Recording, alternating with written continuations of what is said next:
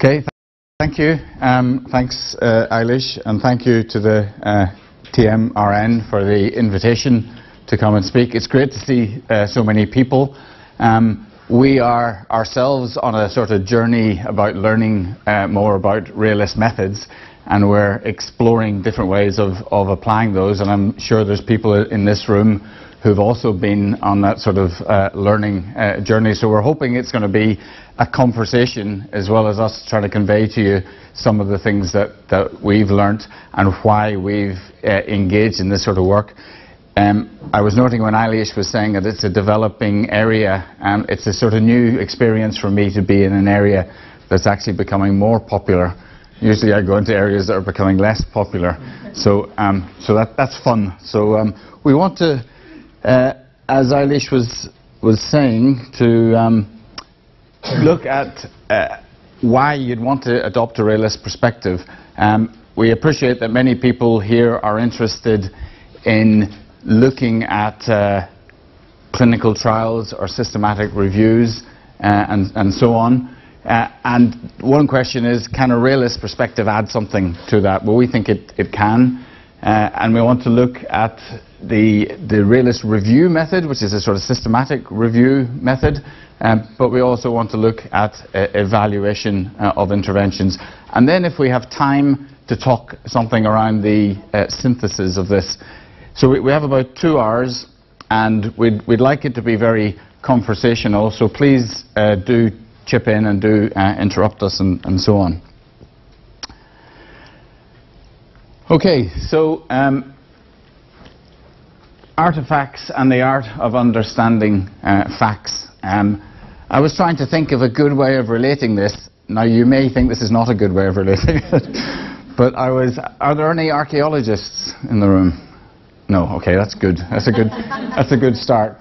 But um, I was sort of thinking that certainly a lot of the research that I've done has been very research results focused.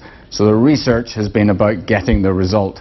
Um, and it occurred to me that really it's a bit like um, somebody digging away in Pompeii there, finding an artifact and saying, this is what I've been after, um, and then sort of hypothesizing about it. You know, I wonder what they used this bit of a pot for. I wonder what sort of social context this was in. How was it made? What was the intention behind it? Um, and so very often the research that I've been involved in is I've got the bit of the pot, that's the, that's the result. Um, and what these archaeologists would love, of course, would be able to stand up and be back in time and have all the people walking around them and to understand what the function of this uh, entity is uh, socially and physically and so on. And in a sense, that's what a realist review is trying to do. It's saying, yeah, we've got this outcome, this result, but you know what, we need to understand what it means in terms of the, the function of it to the people who've been uh, involved in it. So, you know, I think the, um, the, the there was a, a, study done a number of years ago looking at intervention uh, trials uh, in, in Scotland, um, and they looked across a number of different uh, schools and what they found was that in some schools the uh, intervention worked, and in other schools the intervention didn't work. Um, and from our point of view, that's the interesting result. Um, so you could average out the, uh, the result, or you could say what's really interesting is why it has traction in one context and why it doesn't have traction uh, in another context. So the, the realist question is not so much does it work? Uh, it's much more, uh, as it says here, it's about for whom, uh, under what circumstances, in what respects, because not necessarily all aspects of the intervention work for everybody in the same way. Over what duration? Is it short term? Is it time limited? Uh, does actually not kick in until three months after the uh, intervention. Uh, and above all, wh why? Uh, what's, what's the sort of mechanism for making it work? So one of the terms we'll use here is a, a program. And really a program is the overall approach to doing things, and it's understanding from a theoretical basis why something might or might not work. So, to give you a very simple example, um, some of the work uh, uh, I've uh, been involved in has been around cognitive behavior therapy. Um, and what you do in cognitive behavior therapy is you give people a manual and they learn how to do that un under supervision. Um, so you could say the manual is the intervention, or you could say, well, the supervision and the manual is the intervention, or you could say it's the supervision and the manual and the sort of people you're treating, and the sort of place they're in, and the level of unemployment, and the opportunities to get positive experiences outside, and so on. So this notion of a program is much, much broader, and the idea is that you have a theory where your intervention, if you like, is a component, but it's, it's not the only thing, and it may not even be the most important thing. And I think many of us have probably been involved in interventions whereby it works in one place, doesn't work in another. A lot of our work in the Centre for Global Health is multi-country and multi-contexts within those countries. Um, and you get extremely inconsistent results. And you can conclude one thing like, oh, it's inconsistent, it doesn't work, or you can say, it's really interesting that it's working, sometimes a bit annoying, but it's really interesting that it's working like this in one place, and it's not working like that in another place. So that's where we're coming from. I suppose it's a sort of pragmatic concern to develop theory that's going to be contextually uh, relevant. So we have a, a sort of pipeline uh, approach. I guess we're familiar with the idea that we have our research questions, we put the research into the pipeline, and then the practitioners and policymakers aim to take that research out. When they take it out, of course, it goes into organizations and systems and social structures and, and so on. So any result going through here needs this sort of unfreezing and realignment and refreezing uh, and so on. And so a realist approach is trying to certainly take this into account, but it's saying this sort of stuff is just as important. Now, um, I wanted to make some critical remarks about systematic reviews, and I was very sensitive about this, so I thought I would, rather than slagging off other people's research, I'd slag off my own research. I thought that would be relatively safe. Um, so I've been involved in a, in a number of, of reviews. Um, just to give you a few examples. So for instance, this, this paper, um, I'm part of a group called Evidence Aid, and we look at providing uh, evidence that's effective in uh, emergency response situations. It's quite easy to identify what are the good things to do. It's quite difficult to identify how would you actually do them in situations that, that vary from earthquakes um, to uh, tsunamis, to, to conflict, because what you have available to work with is very different in these sorts of situations. Um, let's see, an, another one that um, myself and uh, Eilish were, were involved in. This is with the, the EPI Uh, we did this study which involved initially identifying 23,000 non-original uh, uh, records and then we went through the usual process of uh, trying to identify our RCTs and whittling it down. We ended up with one, and it was of very poor quality. So that was funded by DFID, the, the British Aid Agency. Um, it cost a lot of money, uh, and took a lot of time, and we ended up, as I have in some of these other things, saying, don't really know, and more, more research uh, is, is needed.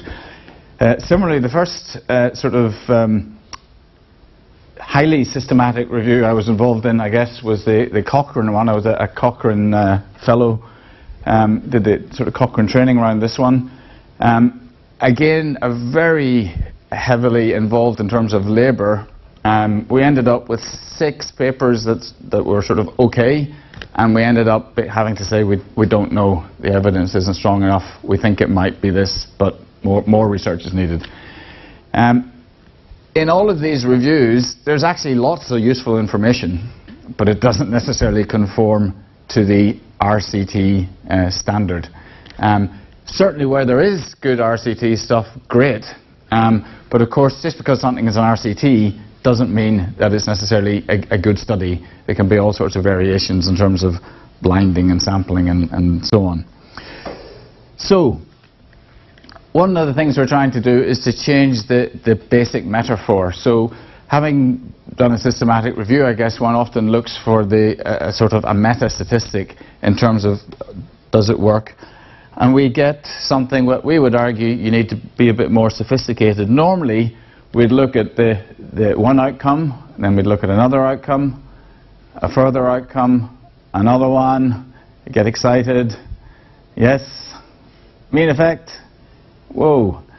All right, so we say, yes, it works. Now, I think, and I hope you think, that what's really interesting is why the same thing produces such different effects. Um, and if you want to look at using that intervention in another context, then you're actually, it's reassuring to know it works in an overall way, but it's much more useful to know what are the factors that are making it and what are the factors that are uh, inhibiting it uh, from working. So from a realist uh, perspective, the idea that whether it's a manual um, or indeed a drug, um, or indeed a, a, broader social intervention, they don't work uh, by themselves. And the, the, the, the idea of the process, many of these things, certainly in the more psychosocial context, they are being done onto beings that reflect back what is being done on them. So they're not sort of passive recipients, obviously. Um, so as you lay the road, you know, the road changes direction um, all of the time. So this idea that people interpret and act upon uh, an intervention, um, and indeed there may be multiple, uh, uh, multiple mechanisms at work, and that there can be a whole range of different sorts of contexts that, that are influential.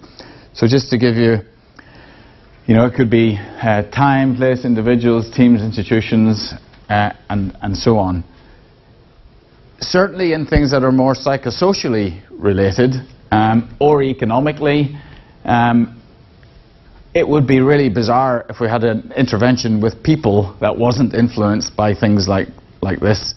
You'd think you'd have a pretty insensitive intervention if it wasn't responding to those sorts of factors. So, um, you have a, a particular situation, um, a particular intervention, um, and then a particular outcome. A slightly different situation. I stole this slide from someone. A, uh, uh, uh, the same intervention, um, but a different type of outcome.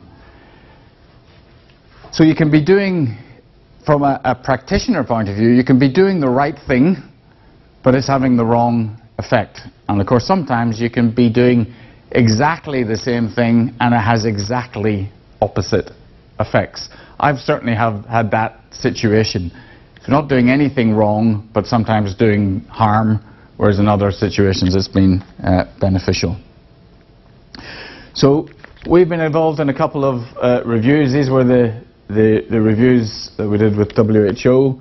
Um, we now have a couple of papers that um, Brynne is the lead author on one of them, and Joanne is the lead author on the other one. These have been uh, submitted for uh, publication. We have other reviews uh, in process uh, at the moment. Uh, it is a, a new area, um, and so one's always a bit nervous in terms of submitting things. There are some very good reviews published uh, out there, realist reviews in, in good journals and, and so on. But often people come across these reviews and think, whoa, what's, what's going on here? Because normally, the analogy I like to use is you read a paper sort of like that, up and down. Uh, whereas in a realist review, you sort of read it across all the things that I was sort of implicitly taught to skip over. Look at the abstract, get a, you know, read the, the first line in each paragraph, skip to the end, and then if you weren't sure, you know, check something in the middle uh, in fact, you go to the middle first almost, and you say, okay, so what's the method? What did they? Who was involved? How did they do that? Oh, it doesn't tell you. so most of the stuff you really want to know when you start reading it from a realist perspective isn't often there. Um, and you start to think, whoa, how can they actually attribute these causes without actually explaining how they, how they got to this point? So it's really sort of fundamental, uh, fundamental stuff. I like to visualize it um, as that we are certainly concerned with the, the content. Um, and the, the content, as far as I'm concerned, is still the, the primary thing, but the content itself has to be bedded within the process by which you go about trying to achieve that. And the content can be any sort of intervention, um, and the context in which it occurs, uh, the, these are all, as it says there, sort of cupped in each other. Um, and it's only going to work maximally if you can address each of these uh, in unison. So, um, I'm going to hand over to Joanne. Um, my name is Joanne McVeigh and I'm a doctoral researcher in the Centre for Global Health and School of Psychology. Um, as Mac has suggested, I'm going to be talking about realist reviews and Brynne will uh, progress by talking about a realist evaluation, which is a slightly different sort of thing. So I'll discuss the components of a realist review and also the differences between a realist review and a traditional Cochrane review in more detail.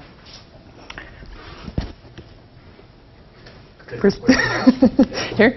Oh, sorry. Okay. So while realist reviews do adopt some techniques from traditional Cochrane-style reviews, nonetheless Cochrane-style reviews are perhaps more important for what are termed as simple interventions. So realist reviews provide a tool for heterogeneous design, setting, context, people, interventions and outcome measures. For this reason, realist reviews are proposed as being more appropriate for complex interventions. And complex interventions have components that usually don't act in a linear fashion. They're interventions for which people are at the heart of and are therefore kind of unpredictable. And they're also highly dependent on the context of the intervention. The aim of a realist review, as you know, is to answer how, why, for whom, under what circumstances um, an intervention works or does not work. Realist reviews can be described as interpretative, reflexive, and an iterative process, rather than a linear process, which is really inherited, uh, inherent in a Cochrane-style review, which examine contextual conditions that make an, an intervention effective or not effective. The focus of a realist review is usually more to explain rather to judge whether an intervention is useful or beneficial or whether it works or does not work. And at the core of realist reviews are CMOCs, context mechanisms, outcome configurations that allow understand, one to understand what works for whom and under what circumstances. So Wong and colleagues have outlined a very useful uh, description of the differences between a Cochrane review and a realist review. While a Cochrane review will identify the review question, a realist review will clarify the scope of the review more broadly. And while this entails also identifying the review question, it also involves refining the purpose of the review, articulating the key candidate theories to be explored. While a Cochrane review searches for primary studies mainly, using clearly defined, pre, uh, clearly predefined inclusion and exclusion criteria, a realist review searches for relevant evidence, so the range of evidence that can be used for realist review is much wider than primary studies um, that are used for Cochrane reviews. And the inclusion criteria are consistently revised as the realist, realist review goes on. A Cochrane review appraises the quality of the study using a predefined and validated quality measurement tool. A realist review appraises the quality using judgment um, from a fitness for purpose perspective. While a Cochrane review extracts standards items of data from all primary studies using ma matrix, a realist review extracts different data from different sources using different tools. So NVivo can be used or Excel, um, depending on the study under investigation. A Cochrane review synthesises the data to obtain an effect size and a confidence interval and transferable themes if a qualitative study is being used. A realist review synthesises the data to achieve a programme theory, refinement of the programme theory, which can be the intervention itself. And that is to determine what works for whom, how and under what circumstances. A Cochrane review makes recommendations, especially with reference to whether findings are definitive or whether future research is needed. A realist review does also make recommendations, um, but with reference to the contextual issues for policymakers uh, at particular points in time. A Cochrane review finally will disseminate findings and evaluate the extent to which practic practitioners' behaviour changes in a particular direction. A realist review, conversely, disseminates the findings and evaluates the extent to which existing programmes are adjusted as a result of the programme theory that was refined um, or revealed by the review. Um, so a context specifically asks what conditions are required for measure to, to, trigger mechanisms for this particular outcome. Well, this is Tilley's definition at least. A mechanism asks what is it about a measure that may lead it to have a particular outcome. And the outcomes describe the practical effects given in a particular context. Collectively, these are known as CMOCs. Um, Okay, to provide two examples of realist reviews that were conducted in the Centre for Global Health, which Mac spoke about earlier, these are commissioned by the WHO to inform the upcoming guidelines on health-related rehabilitation. The first related to policy-related governance of rehabilitation, and the second related to rehabilitation workforce. Um, so we used a Cochrane-style systematic search strategy, which is quite unusual for a realist review, and it's not really necessary. But we just thought that this would help the research process to be more robust, really. Um, so in our search strategy, we outlined strict inclusion and exclusion criteria and databases, and the types of documents that were included. So these included original research articles, descriptions of interventions and contexts, literature reviews, and recommendations from symposia, such as the WHO inter-country meeting reports. So it's a much wider range than from a traditional Cochrane-style review. Um, and the articles were each assessed by two reviewers, and when re reviewers disagreed, this was passed on to a third reviewer. We used a CMOC's extraction template. Each reviewer, each of the two reviewers for each article used this template to outline the context, mechanisms and outcomes and the final CMOCs from, from this analysis. And we related those CMOCs to our original research questions posed by the WHO, but obviously these can be any research questions relevant to your research. We then used the CMOC's synthesizing template to synthesize the CMOCs from each reviewer's analysis of each article. Um, so as you can see on the top row, these are the, the characteristics of the document. And on the bottom row, we outline the context, mechanisms, outcomes, and the final CMOCs for every article. So this is a synthesis of both reviewers' um, extraction of CMOCs. Does anybody have any questions so far? Can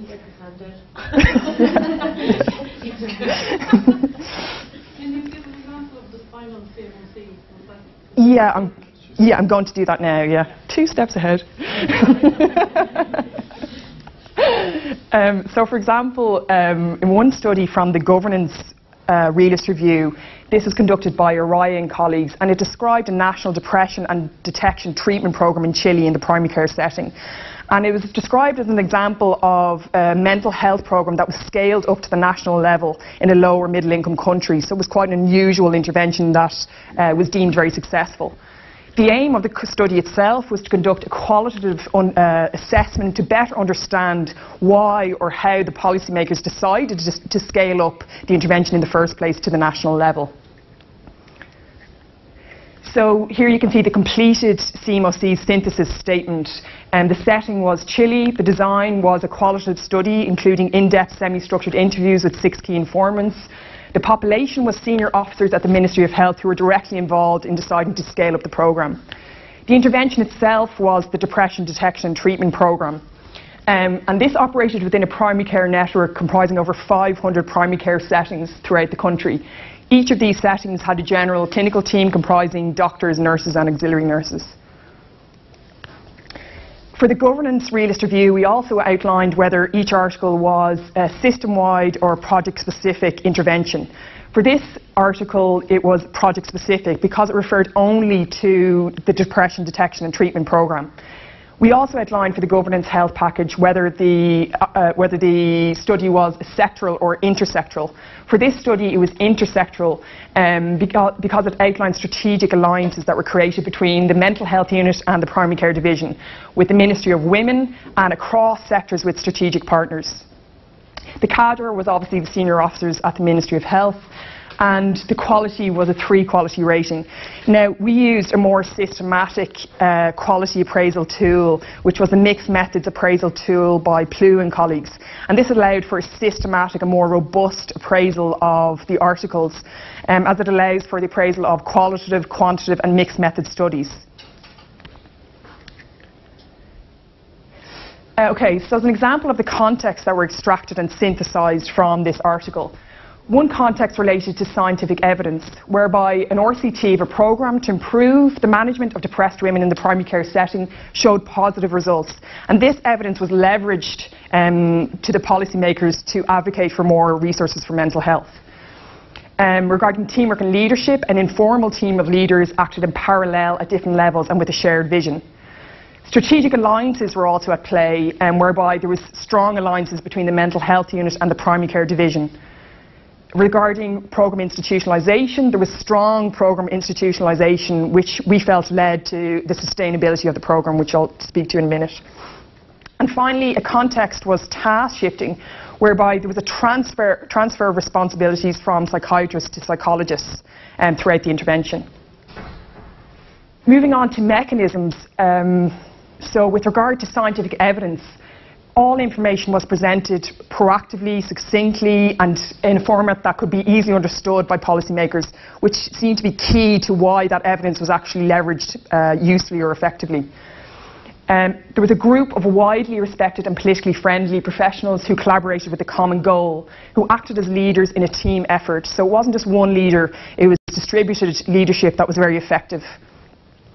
There were strategic alliances um, whereby the mental health unit had the technical capacity while the primary care division had all the resources. So there was a good alliance and uh, mutual benefits on both sides. And the programme was effectively institutionalised. So the programme was aligned with well-known and pre-existing models of healthcare delivery within the Ministry of Health, similar to those of pre-existing programmes that had worked in the past, which kind of, I suppose, helped to create trust in the model of care that was being presented. And finally, task shifting increased the availability of human resources from psychiatrists to psychologists. So psychologists were a cadre that were widely uh, available at, at, an affordable cost, more so than psych psychiatrists um, in the country at the time. Regarding outcomes, in relation to scientific evidence, the Ministry of Health decided that depression would become the third highest health priority for 2002. I ran this presentation by my colleague Fiona earlier, and she said, "Well, what were the other two? What were the highest two?" um, um, and teamwork and leadership, an outcome um, that was extracted and synthesised um, related to the effective leadership which facilitated the creation of powerful strategic alliances, which facilitate institutionalising the programme within the ministerial framework. Um, so strategic alliances were created as an outcome of the intervention. The primary care division, as a result of these alliances, accepted ownership and management of the programme. And because of the programme institutionalisation, there was high programme sustainability. Um, and finally, task shifting, because the programme was scaled up, when the programme was scaled up, psychologists were hired in all primary care centres as key actors rather than psychiatrists, and became the cornerstone of the programme. So as you know, these are all jumbled up and mixed and finally amalgamated into CMOCs. It's a very exciting process. so these are the CMOCs. So it's important um, to remember that all CMOCs need, really need a context, a mechanism, an outcome to be CMOCs. Um, so as an example, in relation to scientific evidence, in contexts where scientific evidence on a health issue is collected, such evidence, when used to effectively advocate for more resources, when it's based on local data and effectively presented to policymakers, can show that the health issue is a public health priority. Um, in relation to teamwork and leadership, in contexts where leadership is shared by an informal team of capable leaders who act in parallel with a shared vision, such leadership can create powerful strategic alliances and facilitate the institutionalising of a programme. As further examples, In contexts where strong strategic alliances are created across units, sectors and departments and institutions, such alliances can allow for the strength and resources to be shared, provide additional support for the introduction of a programme and create co-ownership and co-management of, of an intervention. When programmes are institutionalised through processes including aligning a programme with well-known and pre-established models of healthcare within the Ministry of Health, securing a critical mass of funding and human resources, which were psychologists in this case, such institutionalising may result in strong programme sustainability. And finally, task shifting. In context of a lack of specialised human resources for health, task shifting to alternative cadres can uh, make available an alternative cadre at an affordable cost so that more patients receive treatment. And this is what the completed CMOC synthesis uh, template looks like for this article. So here you can see, as I outlined previously, the characteristics of the article and the context, mechanisms, outcomes and the final CMOCs. So we found this to be a very useful tool um, and simple tool just to synthesise from both reviewers. At what stage Yeah. did the two reviewers come together? So did you go through that whole process individually? Yes, Okay, yeah. So you, you actually determined your CMOC Yeah, we each uh, each reviewer independently assessed each article, and when there was disagreement, it was passed on to a third reviewer. And at the end, uh, the primary reviewer, which is me or Brynne for the other work package, synthesised both CMOCs from each reviewer.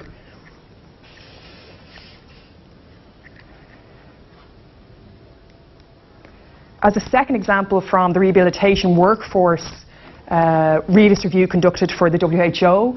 This was a study by Rahman and colleagues which was published in 2008 in The Lancet and it described a lay-level cadre in Pakistan that were using cognitive-based therapy for pregnant women who were in their late stages of pregnancy and their first year of postnatal period.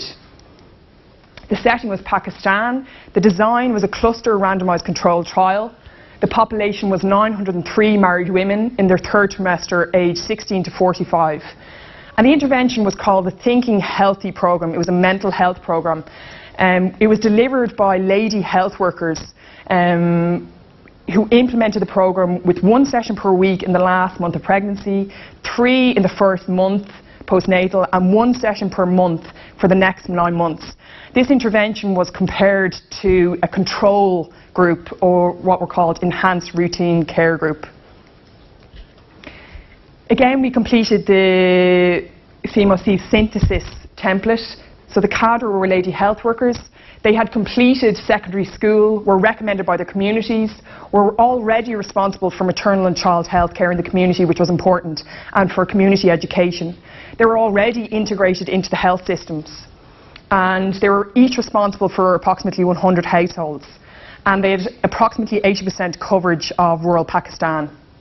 They were trained in maternal and child health care and community education already and had monthly supervision as well as supervision by the research team during the process of the study.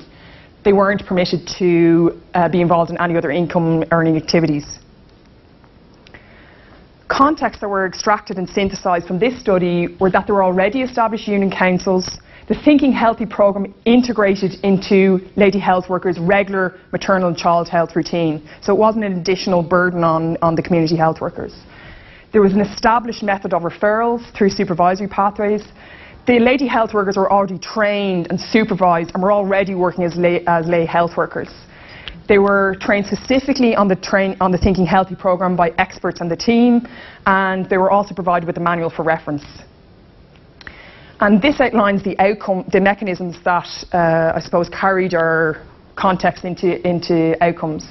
There was a possible reduction of stigma since the programme was delivered through the regular, regular interventions uh, implemented by, by these lady health workers. The, was, there was an integration of families into the programme and having them be, be more active uh, members throughout the intervention, as well as having homework for the participants. So involving families may have helped the effectiveness of the programme, but it also may have had additional uh, unanticipated effects, such as the fathers who reported playing with their infants more so than before the intervention. Um, the intervention was for women um, with only lady health workers. And so this could have meant it was more comfortable and easier for the lady health workers and women to relate and discuss sensitive issues. Um, there was health worker integration and standardised training support and country recognition. And it's likely that the lady health workers were well known and already respected in the community. They were trained and working and already integrated into the system, so just seen as an additional training package for, the, that cadre. While there was no difference in child health outcomes, so for this study, child health, health, child health outcomes and maternal health outcomes were assessed, such as stunting. The there was a possibility of having lady health workers' focus be taken away from their usual maternal and child health care to deliver this mental health package. Um, so that could have been the reason why those differences between the, the intervention and control group weren't found. The lady health workers were strongly invested in the community as being members of and chosen by the community and also having this as their full-time job. And because they were treated professionally, this may have been motivating for the lady health workers. Outcomes of this intervention were that there was reduced depression at six months postpartum, which was sustained at the one-year period. There was no difference, however, for child weight for height between the intervention and control group. There was high acceptability um, if we look at the percent of mothers who were analysed after 6 months and 12, and 12 months. So this is the same between the intervention and control group. There was reduced diarrheal disease in infants, increase in immunisation using contraception, and increase in play-related activities between the mother and infants. And the lady health workers also claimed that their job size and scope didn't increase as a result of this intervention. So CMOCs that were amalgamated from this study were that by having a rehabilitation worker that you can better relate to, this may increase the acceptability of interventions. Family involvement in interventions may be beneficial and increase the acceptability of the intervention and also have unintended beneficial outcomes. Using an already trained and practicing workforce and having an additional component of training may help to reduce stigma and acceptability of an intervention due to the trust that the community already have in that cadre. And rehabilitation workers identified the, by the community are more acceptable and have higher ownership and accountability of an intervention, which may increase retention and motivation. And final CMOCs for this study included that rehabilitation workers that are formally integrated and supported by the government systems who have prerequisites before being hired, such as, in this case, secondary level education, and structured training and supervision, um, this impacts positively on retention and motivation. Government support was found to be effective um, with regards to financial support and by integrating the lady health workers and this intervention into the already existing system. And there was a clear referral system in place with specialised uh, rehabilitation workers if needed. Strong and ongoing support for the health workers from supervisors, research team supervisors, uh, monthly may have helped them to cope with stress. So here again you can see the completed CMOC's synthesis template with the document characteristics above, the context, mechanism and outcomes that I've just described below, and the final CMOCs. Thank you. Brynne is going to now talk about some of our work with World Vision um, and in terms of the sort of practicalities of uh, project evaluation. Yes. So, thank you. Um, just, I guess, a quick presentation overview would be very similar to Joanne's, but only I'm going to be doing realist evaluation, which is the primary um, methodology. So where realist reviews are a secondary study using already um, completed studies, this is conducting a primary study using realist methodology. So um, quickly, just kind of as Mac did, I have done systematic reviews before, so I've come from a systematic review background, and then I kind of a systematic review and implementation science, so looking at how to best operationalize programs, um, and then got turned on to the WHO. So it was kind of a, oh, realist review, okay, that's the introduction to realism.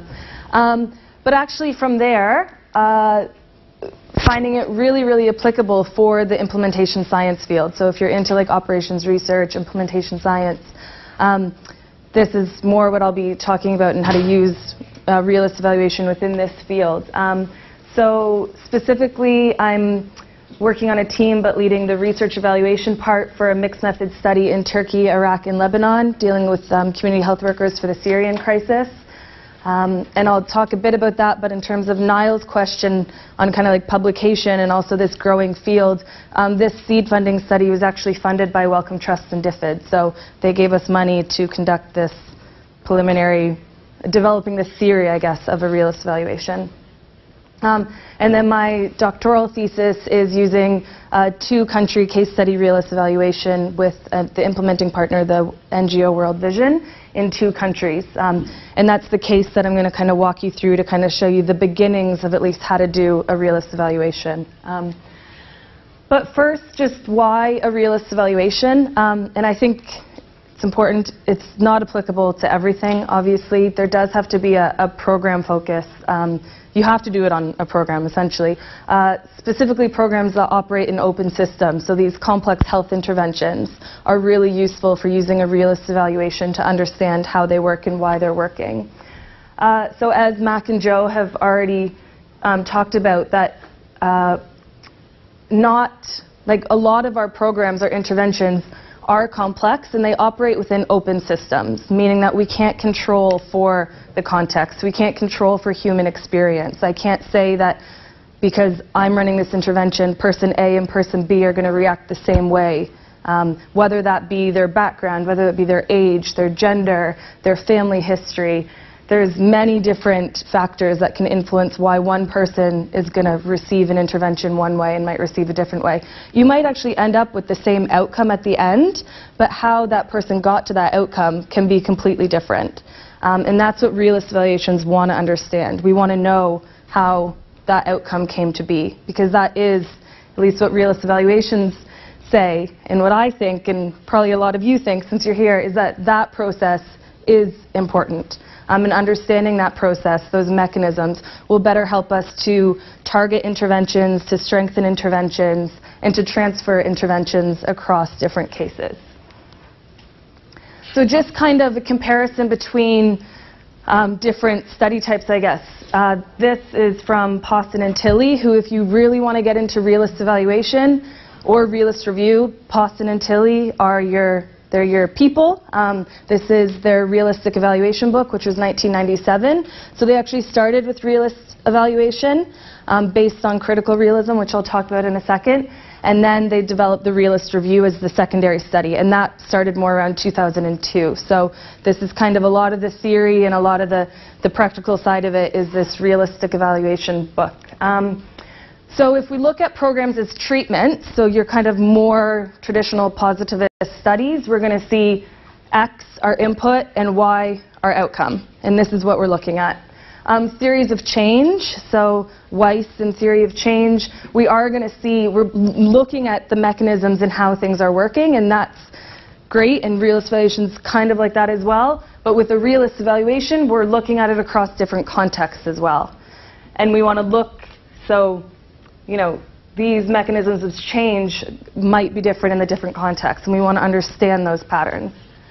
Um, so realist evaluations are a form of theory-driven evaluations. Uh, Chen and Rossi, if you want to read more into theory-driven evaluations. Um, and they seek to understand the mechanisms through which social program outcomes um, occur and operate.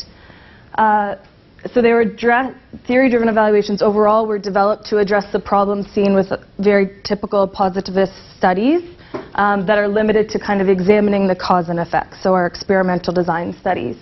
Um, but those don't take into account the context and the people as autonomous agents within those um, interventions. So Pawson and Tilley, 1992, pioneered realist evaluation, which is based on the epistemology of critical realism. So Bhaskar, um, it's not 100% a linear direct descendant of critical realism, but a lot of the, the epistemology, those approaches are, are, very, are based on critical realism. Um, so it is a primary study for using realist methods, and as we've kind of talked about, it still is relatively young, and it is undergoing changes and additions.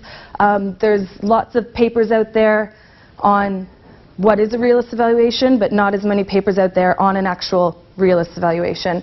And a lot of the comments when people are reading or the realist evaluation group is everybody's asking, you know, publish in detail, like publish how you sampled, publish how you analyzed, publish how you did this, because that kind of knowledge on how to actually do it step by step um, the, the details are, are still somewhat missing, but they are increasingly being used to inform complex health interventions. And I think if I graphed the publications coming out, it would definitely be going exponentially. So I think there is some traction, and we're definitely on the upside right now. But um, so overall, their objective is to develop policy-relevant explanatory program theories using intra-program comparison. So you don't have to use an intra-program comparison. You could just do a realist evaluation on one program.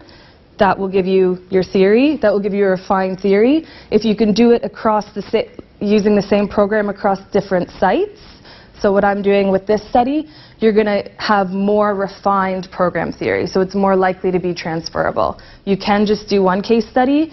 You can do 100 case studies. Um, essentially it is this kind of iterative, never-ending process, and the more you do, the more refined and transferable and probably real your theory is, I guess. But um, so it is this what works for whom and why, as Joe and Mac have said, um, and it really is starting by eliciting our initial program theories and then refining these program theories. So it's this two-step process. Um, through case studies for transferable, contextually relevant program recommendations. And this is done through finding context mechanism outcome configurations, which luckily Joe already went into, so I don't have to. um, and with an understanding that mechanisms are generative. So um, under what context plus what type of mechanism is going to produce what type of outcome. And there could be a similar mechanism under a different context, but it's these, we want to find these patterns of what is this context and what is this mechanism and what outcome are these going to produce. So just a really quick background into the program so that you can understand a little bit more of the, the steps that I'll be explaining afterwards. Um, I'm doing my doctoral thesis on uh, a program that's run by World Vision Ireland across 10 sites in five sub-Saharan African countries, but I'm only looking at two sites across these 10. Um, and it's a maternal and child health program, so it works by delivering health messages, community-based interventions to pregnant women and families with children under two, um, all about you know more health like behavior change communication messages. Um, and it's implemented through a series of community-based initiatives. So community health workers, which are like lay trained health workers that deliver the household messages. And then these community health committees, which act um, kind of as advocates for health service delivery in the community. They work in combination with the community health workers and the Ministry of Health and the health facility to kind of help implement, supervise, advocate, and just build overall community capacity for maternal and child health. Um, but to date, there really a lot of programs actually use these types of committees in low-income countries, but there's really not a lot of work done on them or how they're implemented or how to implement them best. Um, and how this project really came about was they've been implementing this program for about five, almost five years now. It's coming to the end, but um, World Vision has had a lot of different reports on the functioning of these comms. Some are working really well, some aren't working really well, and they just don't really understand, you know, if we're doing the same thing across these different sites, why are our comms working differently? Why?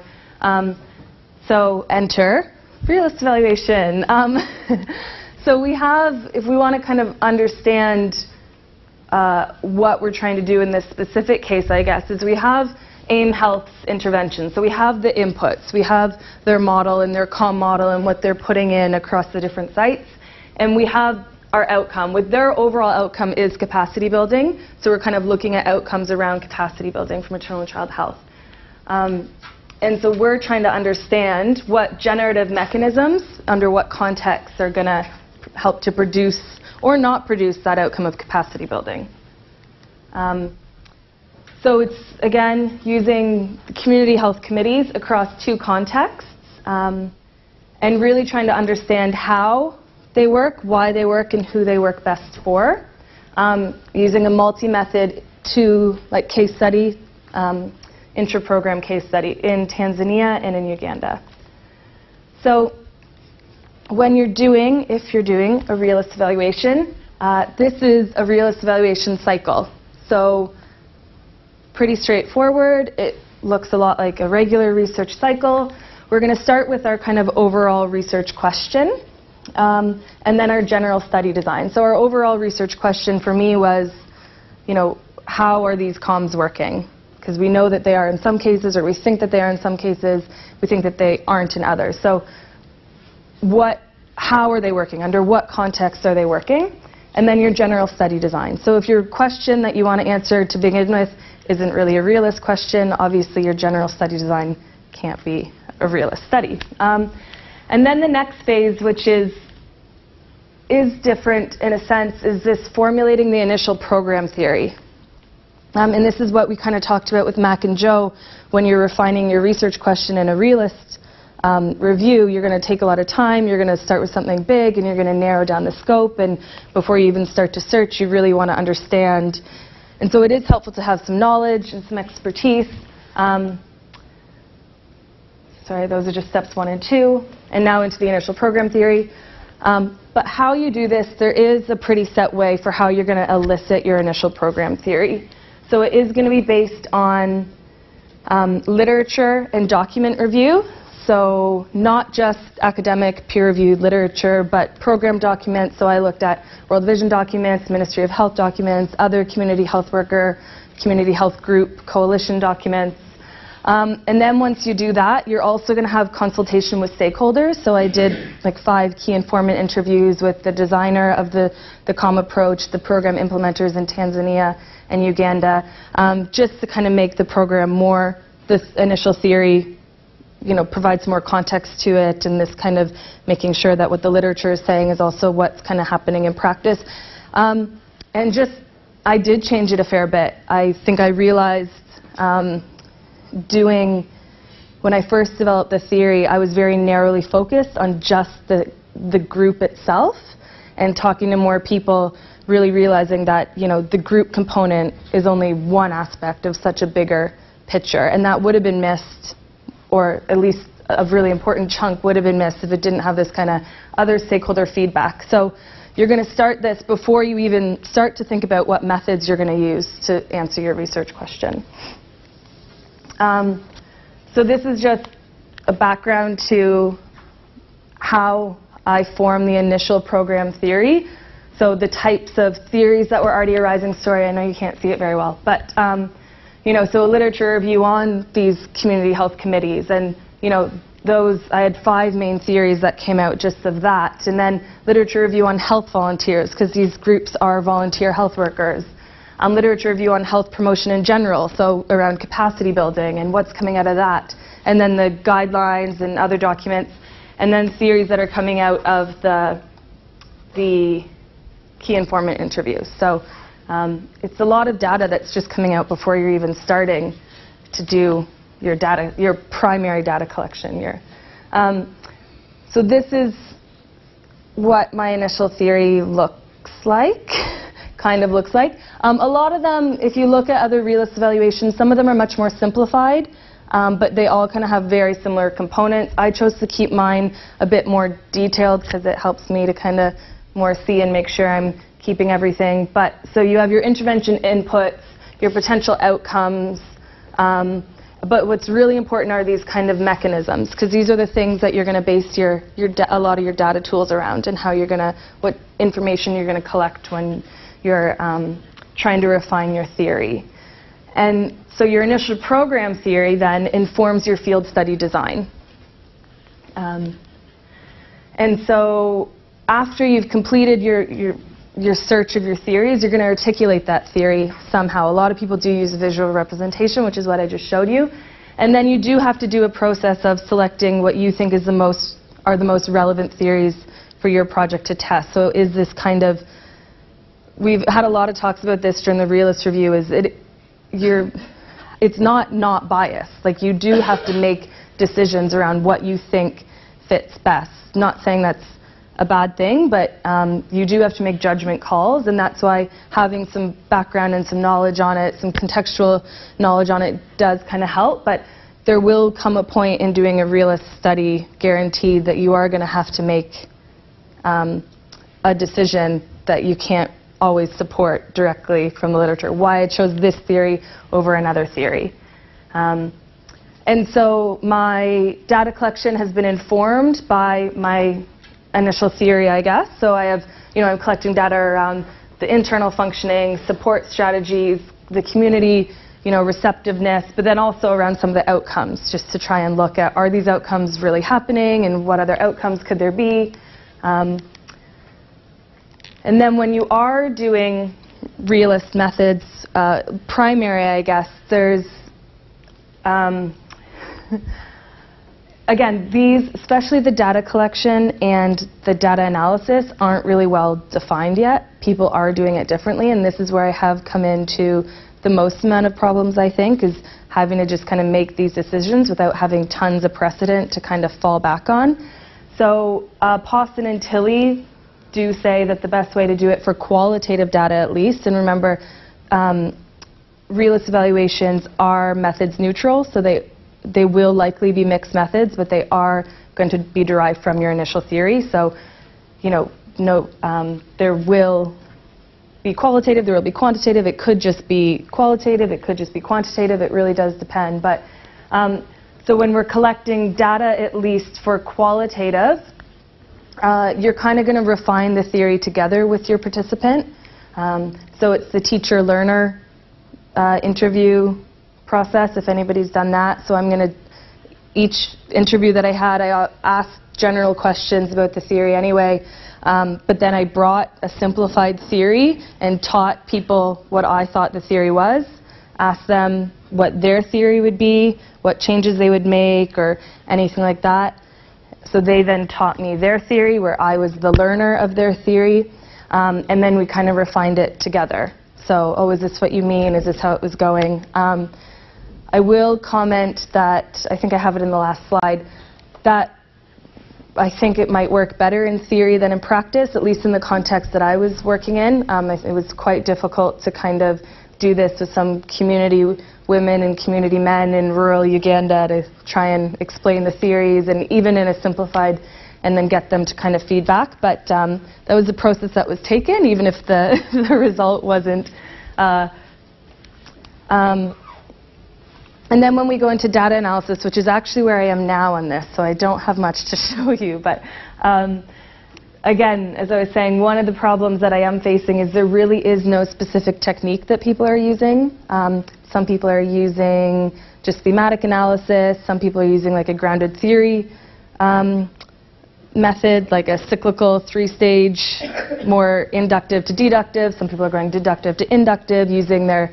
letting their initial program theory be their first line of coding and then going backwards. Other people are doing it the other way.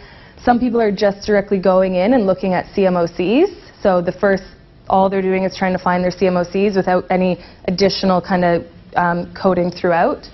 Um, so in the synthesis phase then, but the ultimate goal of the data analysis is you need to develop your CMOCs. And then the synthesis phase is feeding these CMOCs back into your initial theory and refining it.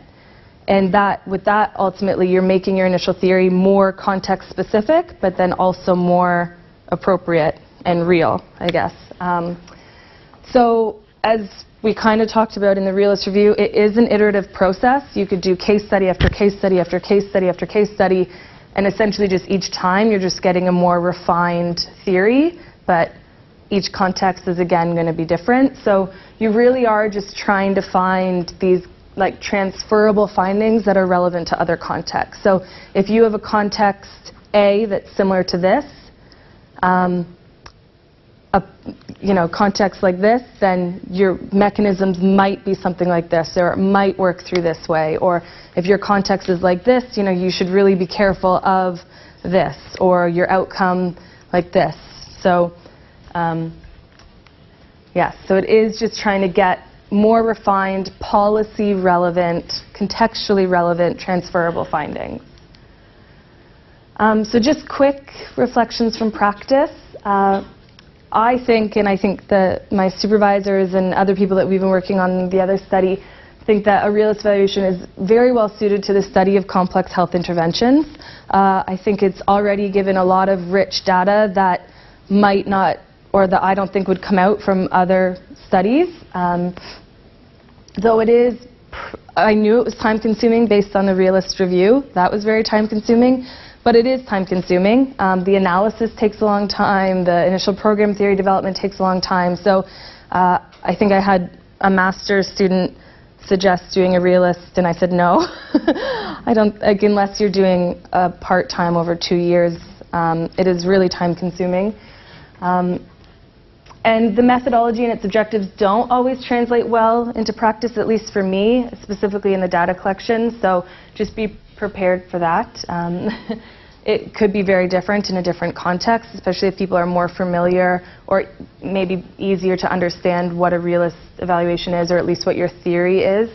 Um, but I do think that the evidence uptake we initially thought would be a concern. Um, but the NGO was really, really receptive to it. Again, WHO was receptive to it. It's still kind of this dissemination part and, you know, how much of these CMOCs or these recommendations, how much are they actually going to be taken on board? But um, both the protocols, so as I said, the one that's not quite as far, we just finished the program theory, which is why I didn't present it, that the development of the program theory so that meetings and uh, stakeholder interviews and stuff was funded by DFID and Wellcome Trust, so they're not opposed to, they haven't funded the whole study yet, so we'll let you know, but they're not 100% opposed to using realist methods. Um, and then a lot of realist evaluation protocols, well, by a lot I mean like four, but they're starting to be published, and um, so we have both manuscripts for each study are in review, and so far I've had